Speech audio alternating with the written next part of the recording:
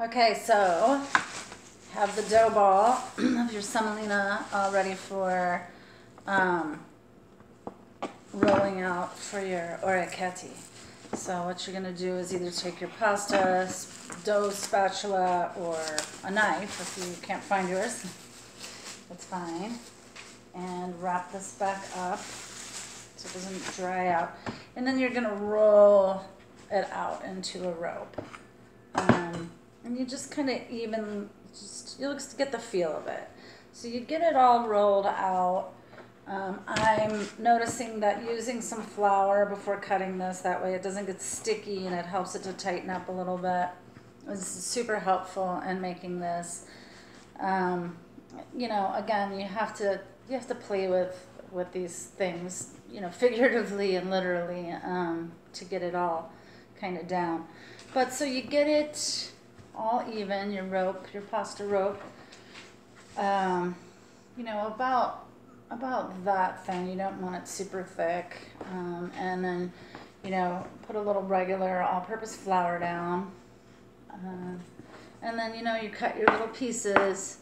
And they feel kind of like little marshmallows. I like having the flour down because then they don't stick together. And these are these are kind of you can make big orecchiettis too, but the little ones for the red sauce is what we're doing today.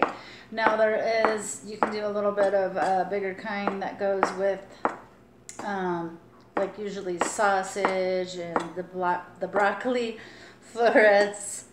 Um, and that one is pretty tasty too. But today we're just going to do some red sauce. So we have these cut up and in some flour and then you have your you know, your different butter knives, you see which one works better, and then, um, so we'll I'll try to make sure you can see this. So you press down on it, but not all the way, you leave some of it, you know, so there's a rim, you want a little bit of a rim. That's gonna be the ear shape, so just imagine that. So then, and then you pull, and then when you pull, it leaves that line, and then you have your little ear shape. Um, they get better as you go along. Whoa, I just threw that ear. So this is after doing um, a few more of them last time. Kind of, you kind of get into the groove.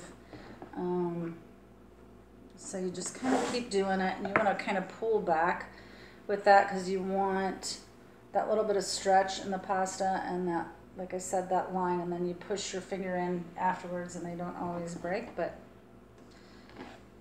sometimes they do. You just keep going. You just keep rolling with it. You know, all of them are going to be different. And unless you're doing this daily, then you're not probably going to have each one of them looking perfect. But they cook up just the same. And it's really fun. So, and then when you do start getting the ear shape, then you're like, oh, okay, I, I got this. I got the ear shape. This is fun. And then you, you keep, you can keep doing it like that and they'll turn out better and better.